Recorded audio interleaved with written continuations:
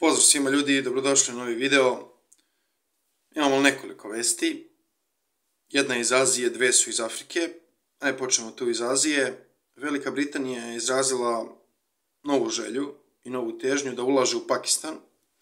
Dakle, neformalna imperija, ali tako? Sjetimo se koliko ona podržavala Pakistan i pri samom odvajanju zapravo, pa čak i ovaj, pre 46. recimo i tako dalje i tako dalje, pre 48. godine kada Indija dobila nezavisnost, e, imamo slučaj da e, pre svega će se fokusirati, što je zanimljivo, na zdravstveni sektor.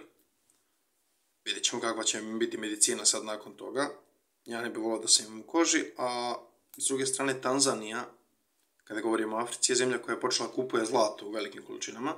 Vidite, neke zemlje prodaju zlato, a neke, ovaj, neke ih daju da ih čuvaju Englezi, recimo kao mi, u Bank of England a neke zemlje kupuju zlato normalno u doba inflacije i doba ekonomske krize. Međutim, glavna vest, treća vest, opet se vraćamo na ono što sam već govorio, dakle, za Južnoafričku republiku, način na koji je ona izbušena. Često sam koristio taj termin po jednim američkim, britanskim, holandskim, švajcarskim i tako dalje firmama.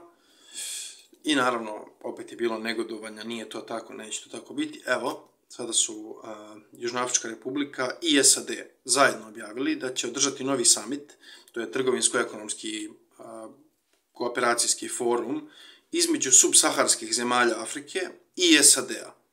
I to će se sada održavati od 2. do 4. novembra, tako da to je opet izazvalo određene diplomatske tenzije unutar samog BRICS-a, unutar odnosa Južnoafričke republike i Rusije, jer ovi jednostavno zovu Amerikance, podstiću da su opet i pre zvali američku vojsku za određenu vrstu obučavanja, za pomoć i tako dalje i tako dalje. Tako da nije uvek sve crno-bijelo kako se prikazuje. Evo sad se to ovim samitom i pokazalo i vidit ćemo kuda to vodi. To sad ne mogu da znam ni ja, niti bilo ko drugi, ali bitno je napomenuti tu vest, a znate. Hvala vam svima na pažnji i vidimo se u nekom od narednih videa. Ja vas pozdravljam.